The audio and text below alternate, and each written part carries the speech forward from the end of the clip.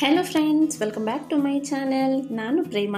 ಹೇಗಿದ್ದೀರಿ ಎಲ್ಲರೂ ಫ್ರೆಂಡ್ಸ್ ಕೆಲವೊಂದು ಬಾರಿ ನಾವು ಹಾಲನ್ನು ಕಾಯೋದಕ್ಕೆ ಇಟ್ಟು ಅಥವಾ ಟೀ ಮಾಡೋದಕ್ಕೆ ಇಟ್ಟು ಮರ್ತು ಹೊರಗಡೆ ಬಂದು ಕುತ್ಕೊಂಡ್ಬಿಡ್ತೀವಿ.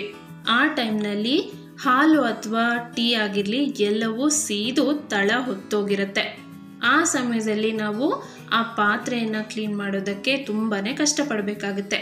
ಆದರೆ ಇವತ್ತಿನ ಈ ವಿಡಿಯೋದಲ್ಲಿ ನಾನು ತುಂಬ ಈಸಿಯಾಗಿ ಈ ಒತ್ತಿದಂತಹ ಪಾತ್ರೆಯನ್ನು ಯಾವ ರೀತಿಯಾಗಿ ಕ್ಲೀನ್ ಮಾಡ್ಬೋದು ಅಂತ ತಿಳಿಸ್ತಾ ಇದ್ದೀನಿ. ನೋಡಿ, ಈ ಪಾತ್ರೆಯಲ್ಲಿ ನಾನು ಟೀ ಮಾಡೋದಕ್ಕೆ ಇಟ್ಟು ಹಾಗೆ ಮರ್ತ್ಬಿಟ್ಟಿದ್ದೆ ಸುಮಾರು ಒಂದು ಗಂಟೆಯ ನಂತರ ಈ ಪಾತ್ರೆ ಈ ರೀತಿಯಾಗಿ ಆಗಿದೆ. ಇದನ್ನು ಕ್ಲೀನ್ ಮಾಡುವ ಪ್ರೋಸೆಸನ್ನು ತಿಳಿಯೋದಕ್ಕೂ ಮುಂಚೆ ನೀವು ಈ ವಿಡಿಯೋಗೊಂದು ಲೈಕನ್ನು ಕೊಡಲೇಬೇಕು ಫ್ರೆಂಡ್ಸ್ ಯಾಕೆ ಅಂದ್ರೆ ನಿಮ್ಮ ಒಂದು ಲೈಕ್ ನನಗೆ ತುಂಬಾನೇ ಮೋಟಿವೇಶನ್ ಅನ್ನ ನೀಡುತ್ತೆ. ಇನ್ನು ಈ ವಿಡಿಯೋ ಕೆಳಗೆ ಕಾಣ್ತಿರುವಂತಹ ಸಬ್ಸ್ಕ್ರೈಬ್ ಬಟನ್ ಅನ್ನ ಕ್ಲಿಕ್ ಮಾಡಿ.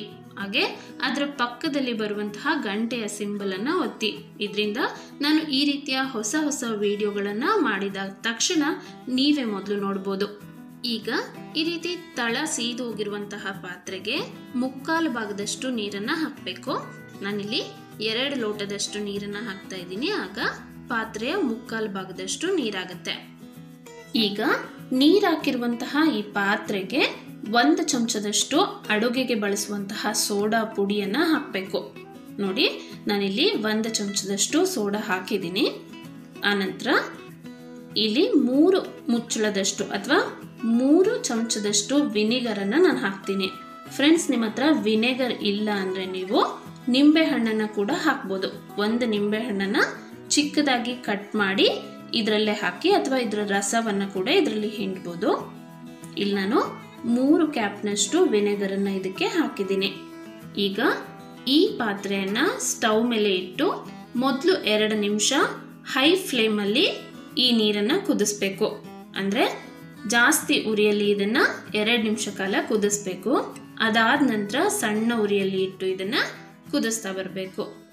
ಹಾಗೆ ನೋಡಿ, ನೀರು ಕಾದ ನಂತರ ಇದನ್ನು ನೀಟಾಗಿ ಮಿಕ್ಸ್ ಮಾಡ್ತಾ, ಅದರ ತಳ ಹತ್ತಿರುತ್ತಲ್ವ, ಆ ತಳನ ಒಂದು ದೊಡ್ಡ ಚಮಚ ಅಥವಾ ಈ ರೀತಿ ಒಂದು ಚಿಕ್ಕ ಚಮಚದಿಂದ ಈ ರೀತಿ ಕೆರಿತಾ ಬರಬೇಕು.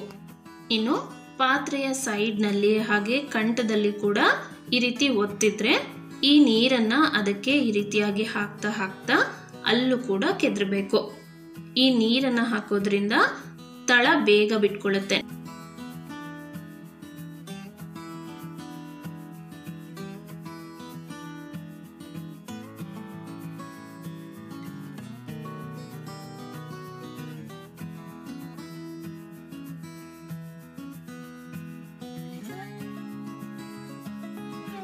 ಫ್ರೆಂಡ್ಸ್ ನನಗೆ ಈ ಪೂರ್ತಿ ಪ್ರೋಸೆಸ್ಗೆ ಹದಿನೈದು ನಿಮಿಷ ತಗೊಂಡಿದೆ. ನೋಡಿ, ಕೆಳಗಡೆ ಒತ್ತಿದಂಥ ಪದಾರ್ಥ ಈಗ ಪೂರ್ತಿಯಾಗಿ ಬಿಟ್ಕೊಂಡಿದೆ. ಇದನ್ನು ಈ ಸ್ಟೇಜಲ್ಲಿ ಆಫ್ ಮಾಡಿ ಸ್ವಲ್ಪ ಹೊತ್ತು ತಣ್ಣಗಾಗಲು ಬಿಡಬೇಕು. ಇದೀಗ ಪೂರ್ತಿಯಾಗಿ ತಣ್ಣಗಾಗಿದೆ.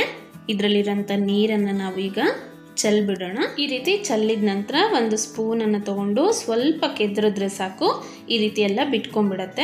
ಅದನ್ನು ಹೊರಗೆ ಚೆಲ್ಬಿಟ್ಟು ನಾರ್ಮಲಾಗಿ ನಾವು ಪಾತ್ರೆ ತಿಕ್ಕೋಕ್ಕೆ ಬಳಸುವಂತಹ ಸೋಪು ಅಥವಾ ಡಿಶ್ ವಾಷರ್ ಆಯಿಲನ್ನು ಕೂಡ ಹಾಕಿ ಈ ರೀತಿ ಒಂದು ಸ್ಟೀಲಿನ ಗುಂಜಿನಿಂದ ಸ್ವಲ್ಪ ತಿಕ್ಕಿದ್ರೆ ಸಾಕು. ಅದರ ತಳ ಎಲ್ಲ ಬಿಟ್ಕೊಂಡ್ಬಿಡತ್ತೆ. ನೋಡಿ, ನಾನಿಲ್ಲಿ ಜಾಸ್ತಿ ಏನು ಫೋರ್ಸ್ ಹಾಕಿ ಈ ಪಾತ್ರೆನ ತಿಕ್ಕಿಲ್ಲ. ನಾರ್ಮಲ್ ಆಗಿ ನಾವು ಪಾತ್ರೆನ ಯಾವ ರೀತಿ ತಿಕ್ತೀವೋ, ಅದೇ ರೀತಿಯಾಗಿ ತಿಕ್ಕಿದ್ದಕ್ಕೆ ಅದರ ತಳದಲ್ಲಿ ಸೀದಂತಹ ಎಲ್ಲ ಕಂಟೆಂಟ್ ಕೂಡ ಬಿಟ್ಕೊಂಡಿದೆ. ಹಾಗೆ ಪಾತ್ರೆ ಎಷ್ಟು ಹೊಸದಾಗಿ ಕಾಣಿಸ್ತಾ ಇದೆ ನೀವೇ ನೋಡ್ಬೋದು. ಈ ರೀತಿ ತಿಕ್ಕಿ ನಾರ್ಮಲ್ ನೀರಿನಲ್ಲಿ ತೊಳೆದ್ರೆ ಆಯಿತು. ನೋಡಿ ಫ್ರೆಂಡ್ಸ್ ಈ ಪಾತ್ರೆ ಸೀದಿತ್ತು ಅಂತ ಕೂಡ ಗೊತ್ತಾಗೋದಿಲ್ಲ. ಅಷ್ಟು ಕ್ಲೀನ್ ಆಗಿದೆ. ನೋಡಿದ್ರಲ್ಲ ಫ್ರೆಂಡ್ಸ್ ಯಾವ ರೀತಿಯಾಗಿ ಸುಟ್ಟು ಕರಕ್ಲಾಗಿದ್ದಂತಹ ಪಾತ್ರೆಯನ್ನು ಹೊಳೆಯುವಂತೆ ಈಸಿಯಾಗಿ ಮಾಡ್ಬೋದು ಅಂತ ಈ ಟಿಪ್ಸ್ ನಿಮಗೆ ಇಷ್ಟ ಆಗಿದ್ದರೆ ಪ್ಲೀಸ್ ಈ ವಿಡಿಯೋವನ್ನು ಲೈಕ್ ಮಾಡಿ. ಹಾಗೆ ನಿಮ್ಮ ಫ್ರೆಂಡ್ಸ್ ಮತ್ತು ಫ್ಯಾಮಿಲಿ ಮೆಂಬರ್ಸ್ ಜೊತೆಗೂ ಕೂಡ ಈ ವಿಡಿಯೋವನ್ನು ಶೇರ್ ಮಾಡಿ. Thank you